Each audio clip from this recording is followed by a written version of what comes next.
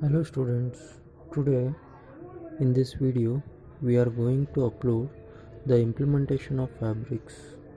So as we know the implementation of fabrics includes the integrated circuits the integrated circuits and their functions and the packaging and circuit boards.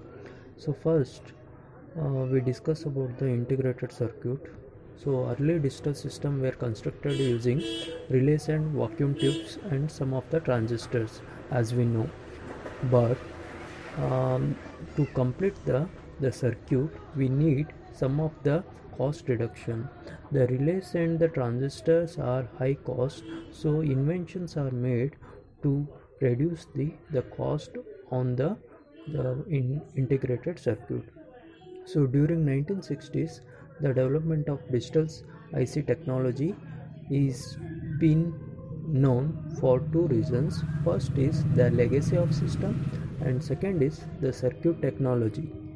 The integrated circuit manufacturer will be having some of the keynotes which will be useful for manufacturing in the industry so implementation fabrics for digital systems are based on the integrated circuits which are manufactured on the surface of a wafer of pure crystalline silicon on a chemical process and photographic process. A number of identical rectangular ICs are manufactured together. In preparation for chip manufacturing, a cylinder ingot silicon is formed and it will be um, made onto the wafer. So early wafers are 50 millimeter in diameter but as improvement begins we are now having the 300 mm diameter wafers. This allows more chips to be manufactured at once and reduce the waste at the edges.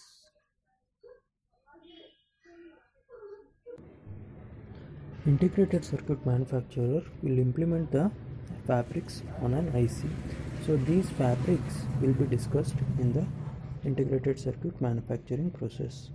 So here a number of uh, process will be carried out that will be used in the processing steps which can be applied. So early wafers as we discussed it is 50 mm nowadays 300 mm of diameter will be done so processing steps will be there for variety of Uh, ICs so including the ion implementation exposing the surface of the impurity ions and this diffusion makes the altering the properties of the the its electrical properties.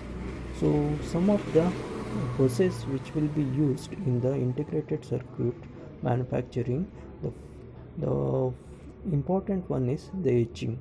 So chemically removing the underlying film of a materials that has been deposited on the surface is called etching.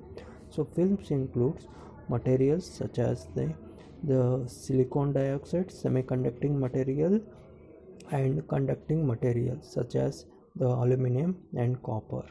The key to select which area is affect are affected is known as the photolithography so that will be discussed with the help of this figure. So figure shows the steps in the photolithography and the the manufacturing of the IC so it is having the three layers resist film and wafers. And the mask which will be you know, is a process of the photolithography. The surface is coated with the thin layer of the photoresist. A chemical whose resistance to chemical reaction is changed so once the circuit on a wafer have been manufactured, they must be tested to determine which ones work and which fails due to the effects. So IC foundries are the meticulous in their cleanliness. So the resist is then developed dissolving either the exposed area or unexposed area. So most of the improvement in the IC technology is attributed to the advance in the photolithography, including higher resolution mask and shorter wavelength. So these two that is the higher resolution mask and the shorter wavelength of the light will be benefiting the the improvement in the IC technology. So the advanced version of photolithography will be having the more IC to be developed on a single uh, mask. So for that purpose, it is very important that we have to increase the resolution of the IC manufacturing by variety of the techniques. So the next topic is the SSI and MSI logic families. So many IC develops for the specific purposes. So this IC development is carried out by the Texas Instrument which will be introduced in the families of the logic. So in 1961 so Texas Instrument developed the two uh, two main logic families SSI that means small scale integrated component and MSI medium scale integrated component while um, uh, that is three years later they introduced that is after 1961 they introduced 5400 and 7400 family of transistor transistor logic that is TTL the 5400 family component were manufactured for high reliability in military applications for uh, over large temperature ranges. The 7400 families were the uh, were they were used for commercial and industrial applications. For example, 7400 component provides 4 NAND gates. These components are integrated on relatively small number of circuit elements. For that reason, it is referred as small scale integrated component. As manufacturing technique improved, the larger circuit could be integrated leading to medium scale integrated component such as 7490 that is 4 bit counter and 7494 4 bit shift register. Medium scale integrated circuit will be having the more advantages compared to the small scale integrated circuit. The 7400 families will be manufactured developed with the alternative versions. There are several versions will be de developed and manufactured on this. As we know, photolithography is a photographic process to draw the draw on the surface. So the SSI and MSI logic families are developed based on this. So example as we given 7400 it will be having the various version.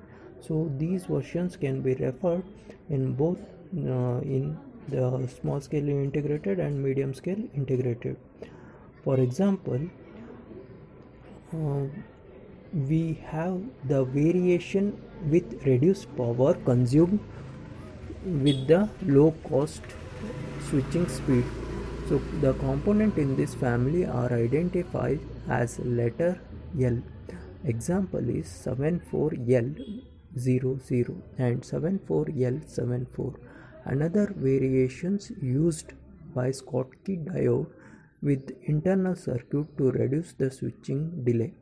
So that can be referred with the letter S.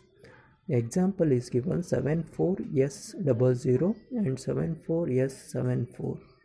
One of the most popular variation is done with 74LS00 family with combined lower power circuits and Schottky diodes to yield good compromise between the power and speed because the power and speed are the main components in the IC manufacturing process.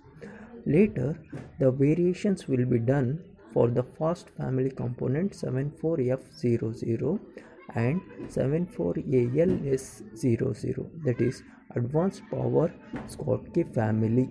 So these are the variations in the the SSI and MSI so one of the problem with TTL circuit is that they are they use bipolar transistor which are having the high power consumption even when not switching the CMOS which is used as field effect transistor were originally developed under the same time as TTL that will be discussed Thank you.